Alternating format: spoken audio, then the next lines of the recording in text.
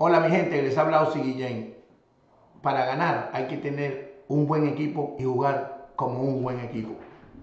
Tenemos un equipo para ser ganadores. Quédense en sus casas, no vamos a hacer nada en la calle. Vamos a ayudarnos unos con otros y así resolvemos este problema lo más pronto posible.